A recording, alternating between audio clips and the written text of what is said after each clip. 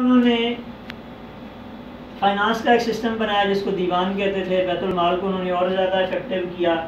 زمیز، وہ نان مسلم جو مسلم سٹیٹ کے اندر رہتے ہیں، ان کی ویلفیئر کو انہوں نے بندوبست کیا۔ ان کا جو ٹیکس ہوتا تھا، اس کو انہوں نے منیمائز رکھا۔ اسی طرح اسکالرشپس کا سسٹم انہوں نے انٹروڈیوس کرایا کہ جو بچہ پیدا ہوتا تھا، اس کا اسکالرشپ شروع ہو جاتا تھا، بوڑھوں کے لیے تھا۔ جو ویڈوز ہوتی تھیں ان کے لیے تھا آرفنس کے لیے تھا یعنی ایک پوری ویلفیئر اسٹیٹ کا سسٹم دے دیا انہوں نے۔ اور یہ چیزیں آج بھی یورپ کے اندر جاری ہیں ہمارے ملکوں میں تو نہیں ہیں۔ تو اس لیے کہا جاتا کہ آج جو سوئٹزر لینڈ ہے سوئٹزر لینڈ اور ایک دو کنٹریز جو ہیں یورپین۔ وہ حضرت عمر رضی اللہ تعالیٰ کے سسٹم کے کلوزسٹ ہیں۔ کریکٹر آف حضرت عمر رضی اللہ تعالیٰ ہو وہ پڑھے لکھے بھی تھے۔ ان چند لوگوں میں جو مکہ میں پڑھائی نام کی چیز ہی نہیں تھی پھر وہ ریسلر تھے، اچھے اوریٹر تھے، بہت زیادہ بہادر تھے اور بہت اسٹریٹ فارورڈ پرسن تھے۔ اب اس سے ریلیٹڈ گورنمنٹ سے ریلیٹڈ ان کے جب ہم تھوڑے سے کریکٹر کی بات کرتے ہیں، تو جیسے بہت مشہور بات ہے کہ وہ رات کے وقت مختلف جگہوں پر گشت کیا کرتے تھے۔ کہ جن لوگوں کی میں ذمہ دار بنایا گیا ہوں، وہ کس پوزیشن میں ہیں؟ اور ایک جگہ پر جہاں ایک عورت کے بچے رو رہے تھے تو ان کے پاس وہ گئے، پتہ چلا کہ ان کے پاس کھانے کا کچھ نہیں پھر وہ خود سے آٹا اور چینی سارا کچھ اٹھا کے لے گئے اور ان کو انہوں نے کھانا پکا کے دیا، کھلایا۔ ایک دفعہ وہ باہر نکل گئے، شہر سے باہر، کافی دور۔ کہ میں دیکھوں کہ باہر جنگل میں یا ڈیزرٹ میں کیا پوزیشن ہے؟ تو وہاں انہوں نے دیکھا کہ ایک عورت آ رہی ہے، اس نے بہت ساری جیولری پہنی ہوئی ہے اور اونٹنی پہ سوار ہے۔ تو یہ آگے بڑھے، انہوں نے آگے سے اونٹنی کو پکڑ لیا۔ تو اس عورت نے چیخ ماری کہ آ عمر فوت ہو گئے اب اسے نہیں پتا تھا یہ کون ہے۔ تو حضرت عمر رضی اللہ عنہ سے یہ کہا کہ تم یہ کیسے کہہ سکتے ہو کہ عمر فوت ہو گئے وہ تو زندہ ہیں۔ تو اس نے کہا کہ اگر وہ زندہ ہیں تو پھر عمر آپ ہیں۔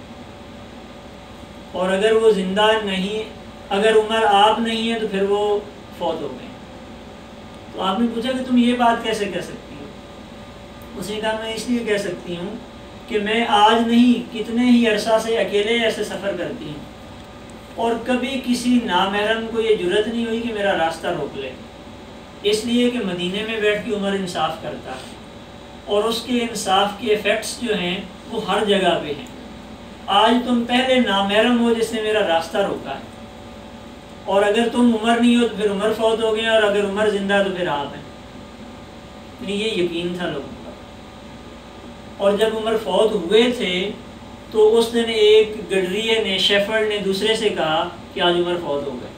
اس نے پوچھا کہ وہ کیسے، تمہیں کیسے پتہ چلا؟ اس نے کہا کہ میری بکریاں جو ہے نا، یہ دوسرے کے کھیت میں چرنے چلی گئی ہیں۔ کہ جب عمر زندہ تھے تو میری بکریوں کی یہ ضرورت نہیں ہوتی تھی کہ یہ کسی دوسرے کے کھیت میں جا کے منہ مار لیں اور جب پتہ کیا گیا تو واقعی وہی دن تھا جب عمر فوت ہوئے اور ایک دفعہ ارتھ کوئک آیا تھا مدینہ میں۔ تو حضرت عمر رضی اللہ تعالیٰ نے اپنا وہ ہنٹر نکالا اور زمین پر مارا۔ کہ کمپتی کیوں کہ تیرے اوپر عمر انصاف نہیں کرتا۔ تو زلزلہ رک گیا تھا اور آج تک مدینہ میں زلزلہ نہیں آیا تو حضرت عمر رضی اللہ عنہ کا بیٹا ایک دفعہ آ رہا تھا یعنی کسی دوسرے ایریا سے، جو ایریاز مسلمانوں نے آکوپائی کیے ہیں۔ تو وہاں سے وہ آ رہے تھے، تو وہاں کے ایک شخص نے انہیں کہا کہ یہ میرا کچھ پیسے ہیں، یہ آپ لے جاؤ، میرے گھر مدینہ میں دے دینا۔ تو انہوں نے کہا کہ ٹھیک ہے، میں لے جاتا ہوں۔ لیکن ساتھ ہی انہوں نے اسے کہا کہ اگر آپ مجھے اجازت دیں، تو میں آپ کے اس رقم کی کوئی چیز یہاں سے خریدتا ہوں۔ اور وہاں جا کے بیچ لوں یعنی میں اسے ٹریڈنگ کر لوں۔ آپ کی طرف سے مجھے اجازت ہے۔ اس نے کہا کہ ٹھیک ہے، آپ کو اجازت ہے۔